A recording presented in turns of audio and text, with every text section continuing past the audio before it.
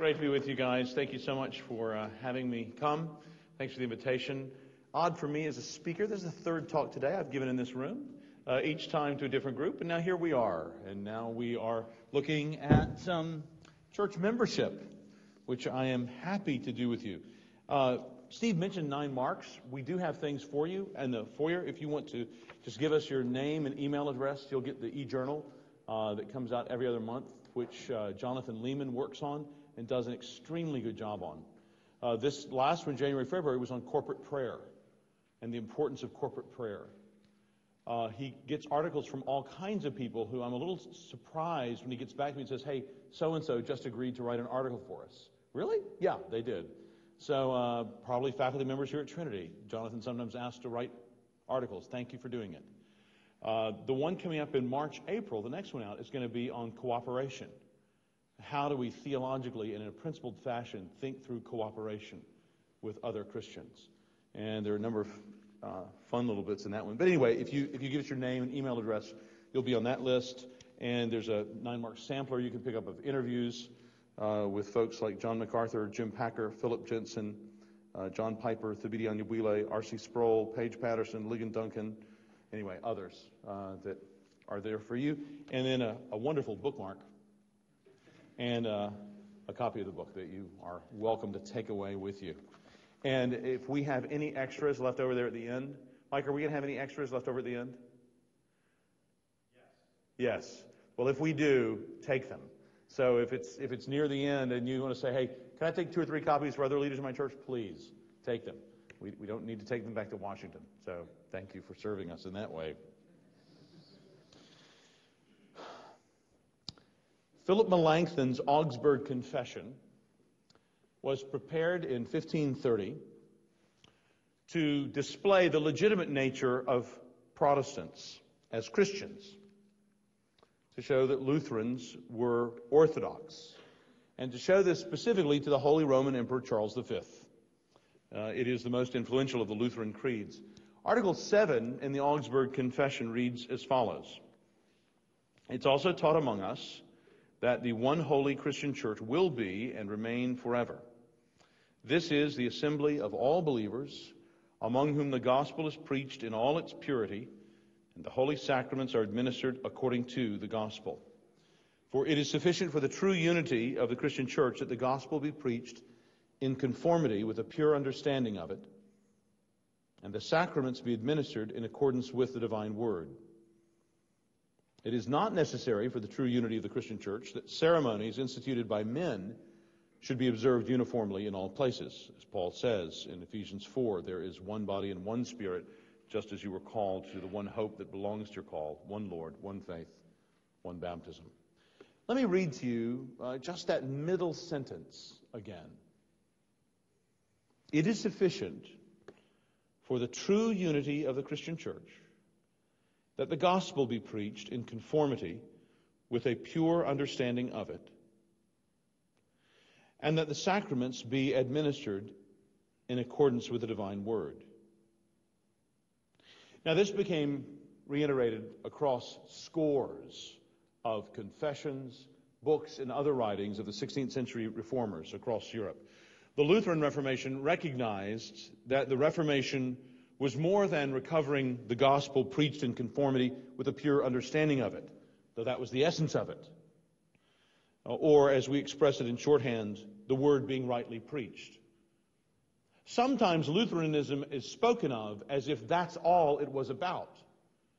But that's not faithful to the early Lutherans, like Melanchthon, who wrote the Augsburg Confession the word being preached rightly, the gospel being preached rightly, was certainly fundamental, essential, primary. But it alone was insufficient. The pure water of the word poured out had to be received, captured in the lives of a community of people in order to be a truly Christian congregation. And so there was what came to be called the second mark of a true church the sacraments be administered in accordance with the divine word. Now, the two articles later, Melanchthon specifically rejected what he called Anabaptist errors. And this, this second mark in the hands of the reformers after him came to describe the congregation of those justified through faith alone in Christ alone. The right administration that later reformers wrote of was not fundamentally an assertion of paedobaptism against Protestant Anabaptists, though they sometimes did that expressly in their confessions. But rather, it was against Rome's teaching that the sacraments conveyed God's saving grace ex opere operato, apart from any reference to the faith with which they were received. In that sense, at least among the Reformed, this second mark of a true church acted to identify and unify true believers apart from those who followed the teachings of Rome. And that's my jumping off point for the consideration I want to lead us in this afternoon. Those Christians who have gone before us have recognized not only the need for the gospel to be preached, as Christ said it should be preached, and as schools like this one have given themselves to make sure it is so preached. But also the gospel received, as Christ said it should be received. Not just by us as individuals, but by us as individuals who regularly congregate. Some neo Protestants among us, in the name of tradition, have given rise to a new piety which loathes piety, and a new faith, which seems to be received by tradition doing rather than by heart embracing. But just to be clear, as best I can tell, this is not what the Protestant reformers found in Scripture. It is not what they taught. So in the New Testament, James admonished some early Christians You adulterous people, don't you know that friendship with the world is hatred toward God? Anyone who chooses to be a friend of the world becomes an enemy of God. John Calvin, commenting on this, said that God would have us chaste virgins. And it is this chastity which is violated and spoiled by all the impure affections of the world. Reason enough for James to compare love of the world to adultery. What he calls friendship of the world is the state of men who become addicts and slaves of the corrupt side of life. The nature and extent of the world's disagreement with God is such that every step a man takes towards the world is one step further away from God. Hence the repeated command of Scripture to renounce the world if we would serve God. True piety resides not in itself, but in Christ. Such piety does not threaten our reconciliation with God. It naturally and certainly flows from it.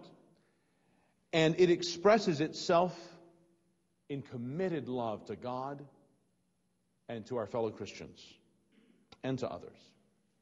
And it's particularly that committed to love to fellow Christians and to particular fellow Christians that I want us to think about in this time this afternoon. The right administration of baptism and the Lord's Supper presumes church discipline. The reformers all saw that clearly in Scripture. And that, in turn, presumes church membership. So if you want to try to go for the kneecap of my argument, that's where you want to go. Right? I'm just laying it out to you clear and plain. I'm going to dress it up and try to apply it. But if you want to go for it cognitively, that's what you want to go for. You want to object. So just trust me. The rest of the time here is, is just hanging stuff on that. So let me just say it again. The right administration of baptism and the Lord's Supper presumes church discipline. And church discipline, in turn, presumes church membership. Here's a simple series of thoughts Christians should attend a congregation regularly. And where they attend regularly, they should join. And if they are able and do not attend, then they should not be allowed to be a member of a Christian church. They are, in fact, in sin. Hebrews 10:25 instructs us not to be like those who forsake the regular assembling of themselves together. Disobeying this clear instruction doesn't inspire confidence in the non attender's ongoing repentance and faith. A member's regular tolerated non attendance begins to bring up further questions. What kind of leadership must a church have in order to allow such a misrepresentation to grow up and flourish? What kind of expectations are communicated to those who are joining the church? What discipline is practiced? In fact, tolerated non involvement among members may even call into question the kind of evangelism being done. The church's understanding of conversion. What does it really mean to be a Christian? Or even the gospel itself. Allowing such non attending members to retain their membership would seem to be such blatant disobedience to Scripture and such a brazen disregard for the spiritual health of those concerned that it would seem even to call into question the teaching that has brought about such an unhealthy tolerance in the body. This, then, is a difficult topic. Practicing meaningful church membership in a world where options are preferred and commitments avoided. How do you regain what is not even understood, even by pastors? How do you make meaningful something that you don't believe in? After all, many Bible believing Christians today deny church membership as quickly and as easily as many Jehovah's Witnesses deny the Trinity or Muslims deny Christ's divinity. I'm not saying the essence is as important, but I'm saying the method is the same. Show us the verse, they say. But the truth that God has revealed in His Word is not limited to simple, explicit statements.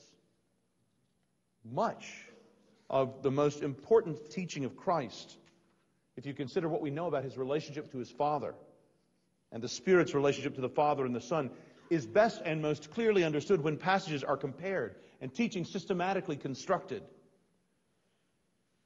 So it is with church membership. But then today we must even ask what does membership mean in such an amorphous group as a local church? Who even knows what a church is? Among many today, from popular writers to mission strategists, even that definition has faded. This is a difficult topic. But, friends, I, I, raise it with you because it is even more important than it is difficult. The plan for the talk then is this first, to define the church.